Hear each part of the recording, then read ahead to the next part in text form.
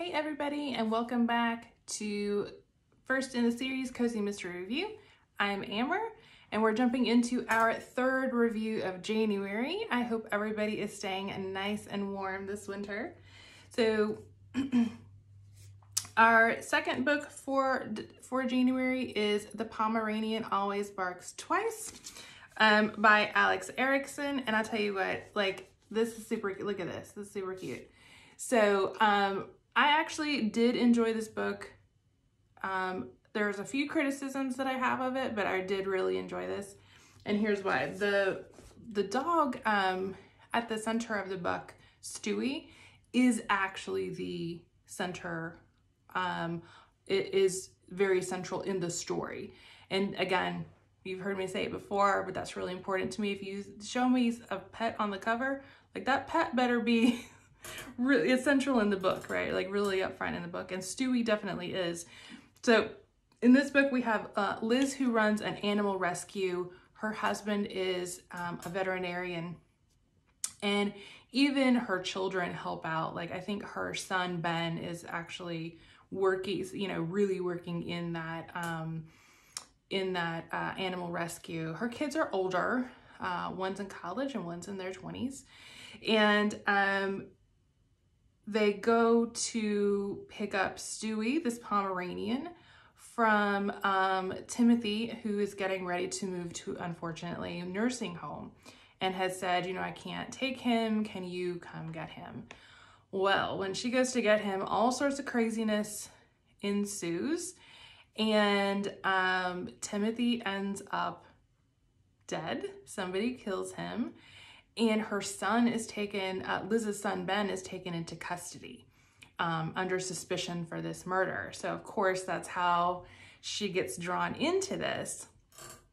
Um, and I will say one of the things that I really liked uh, about what Alex Erickson does in this book is that I I can almost always in the first like three chapters guess who did it and that's just because I read these all the time and it's a trope um, and I will say that this one, I did, I did guess correctly who the murderer was, but there were enough red herrings in there that I was like, about every third chapter, I would doubt myself and I would be like, is it, wait, is it, it, oh, maybe, um, so that was really good. Like, I really like those ones that kind of keep you guessing a bit.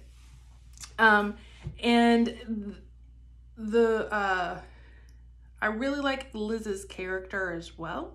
So she's just a very open-hearted, very curious person, um, really wants to be helpful in the world. So I um, I really enjoyed that about her. I really wish her husband, the veterinarian, was part of the book a little bit more. He seemed like a really kind of um, sparky character, but we only see him a couple of times. Um, so in future books, I hope that she brings him um, into that a little bit more. Um, and the other thing, the other kind of criticism that I have about this book is that we don't get to really know very many characters other than Liz herself. There wasn't a much character development um, other than her daughter, which is a really interesting relationship towards the end um, that I enjoyed. But most of the book is just kind of Liz on her own. Um, we don't get a whole lot with some of these other characters. So I'd like to see that a little bit more. I'd like to see a little more world building. Um, you know, we see like the local pet store, of course, because where's an animal rescue getting their getting their stuff from? Um, and you know, we see like where the murder took place and kind of the houses surrounding that, but we really don't see much of the town. And I think I would have preferred to see more of that town. So maybe that's something that she'll do um, in future books.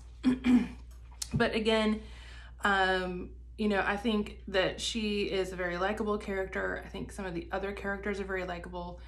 Um, I even enjoyed meeting uh, Liz's nemesis, who is, runs another animal rescue, but she's kind of doing it for profit.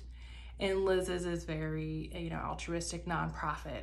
And so that's kind of how they how they clash. And that's a really interesting dynamic. I enjoyed enjoyed watching that for sure. Um, the only other criticism that I have of this book is that so Liz is a mom, right? And I'm a mom too. I have two 13 year olds.